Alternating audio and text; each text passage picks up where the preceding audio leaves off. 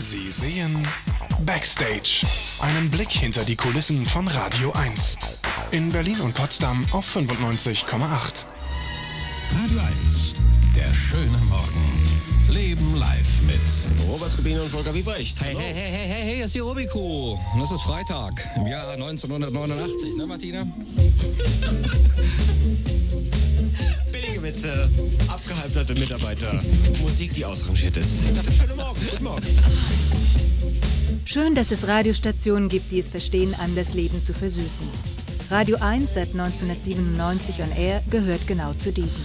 Es gibt keine andere Radiostation in Berlin und Brandenburg, die so einen unvergesslichen Namen hat, den man beispielsweise immer wieder mit B1 verwechseln kann. Also man muss sich konzentrieren können, um das Programm in Gänze in seiner Tiefe zu durchdringen und wird aber gleichzeitig damit mit äh, tiefen und subtilen Details belohnt, die man sonst nirgendwo bekommen kann, sowohl musikalisch als auch inhaltlich.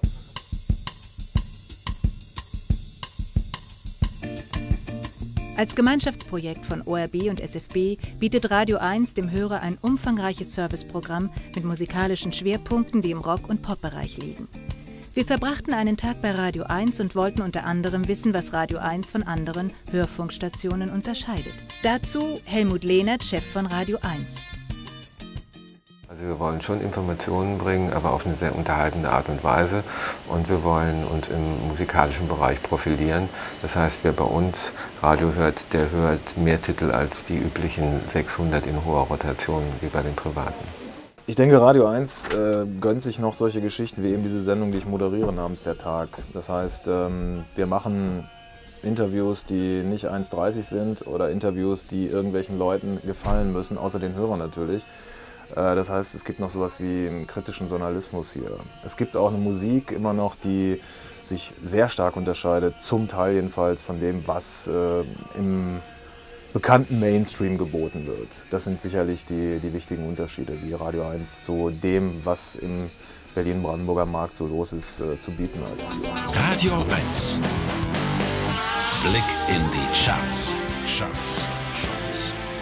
Nicht allzu viel Veränderung ist meistens innerhalb einer Woche bei den Longplayern zu verzeichnen, aber in dieser Woche zwei furiose Neueinstiege. Wir werden gleich hören, welche. Regelmäßige Veranstaltungstipps, ein Filmmagazin sowie Theater- und Buchkritiken bieten dem Hörer eine Orientierung durch den Berliner Veranstaltungsdschungel. Zu den Highlights bei Radio 1 zählen auch die Musikspecials mit Moderatoren wie Peter Razun, Anja Kaspari oder John Peel, um nur einige zu nennen. Was will Radio 1 außer Musik und Nachrichten noch vermitteln? Dazu Robert Skupin, Moderator bei Radio 1. Also ich glaube letztendlich irgendwie, das versuchen aber die meisten äh, Radiosender, da ist Radio 1 keine Ausnahme, äh, ist ein bestimmtes Lebensgefühl auch. Und über das Lebensgefühl wird meiner Ansicht nach sowieso wesentlich mehr vermittelt.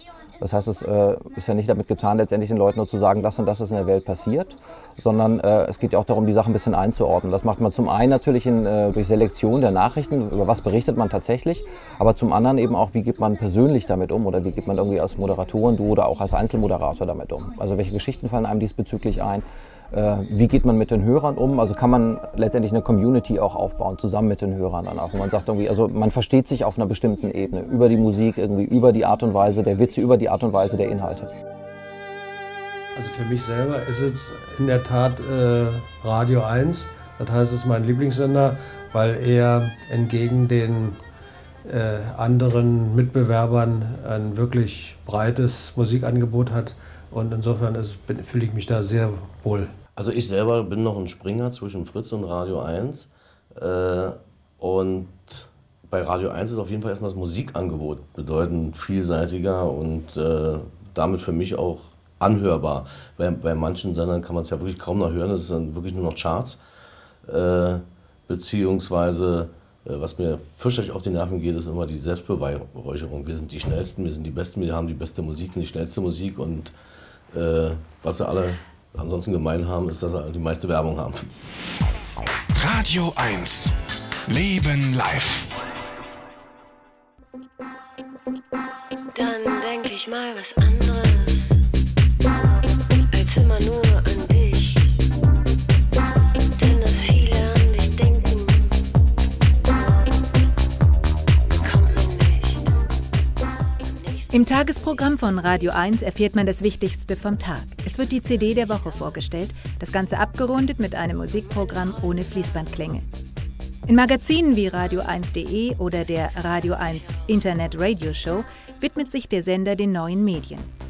Welchen Stellenwert wird das herkömmliche Radioprogramm gegenüber den neuen Medien in der Zukunft einnehmen? Peter Razun, Musikchef bei Radio 1. Also rein von den Daten her hat es einen genauso hohen Stellenwert wie immer. Radio ist das meistgenutzte Medium schlechthin. Also wir haben äh, gerade hier in, äh, in, den neuen Ländern äh, absolute Rekordeinschaltquoten, was Radio angeht. In Brandenburg äh, hören, ich glaube, 87 Prozent aller Menschen täglich Radio viele Stunden lang täglich Radio mit äh, irgendwie dreieinhalb Stunden Verweildauer täglich.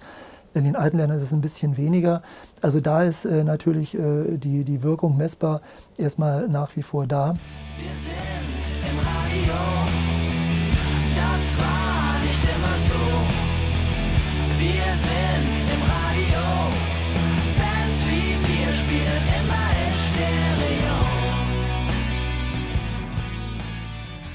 Ich dem Gebührenzahler mitteilen, wenn er denn jetzt äh, am Fernsehgerät sitzt, dass ich äh, jedem einzelnen Gebührenzahler danke, dass er, der bei uns bereits als Hörer da ist. Und wenn uns jemand über diesen Beitrag entdecken sollte, äh, sollte er so mutig sein, uns äh, zu hören.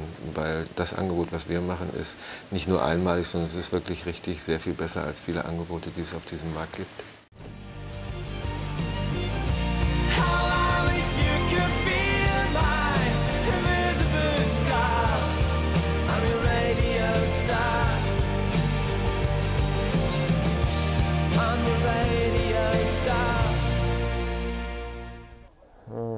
Also wenn ich irgendetwas hasse, dann Abmoderation, weil ich finde immer den Anfang von etwas besser. Deshalb freue ich mich insbesondere, dass es gleich wieder anfängt, äh, auch wenn ich es jetzt schade finde, dass jetzt der, dieser Teil des Radio 1 Beitrags erstmal aufgehört hat. Aber gleich geht es ja dann weiter.